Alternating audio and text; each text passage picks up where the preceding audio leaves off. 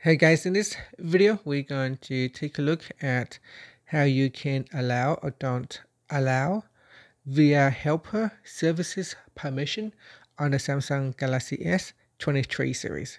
First tap on the home button to return back to the home screen and from the home screen, swipe down at the top, then tap on the settings icon.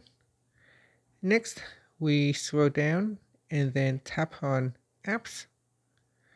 Now at the top here, tap on the more button. Then from the pop-up, tap on special access. In here we scroll down and then tap on VR helper services. Tap on that. Now if there is an app require the use of VR helper services, it will appear in here. From here, you can tap on the toggle button to uh, allow or denied the app to access the VR helper services.